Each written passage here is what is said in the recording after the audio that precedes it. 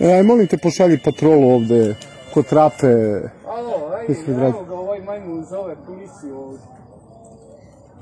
Pa zove, zato što mu tu govorim, krenuo na mene da me udari, kao ono, a ne smije da me udari.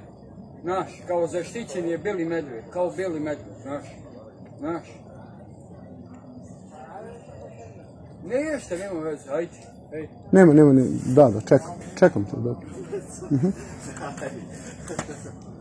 Mm, Dobro, dobro. Važi.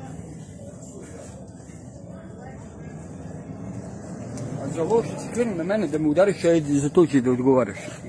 Jebat ću te usred za to. Što si krenuo malo pre. Evo ovi mulci su vidjeli da si, me, da si krenuo da ustaneš da me udariš. Šta misliš, ti krupan si jak, jel?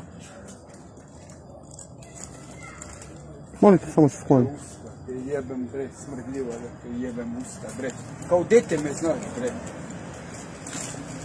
Govnaru jedan.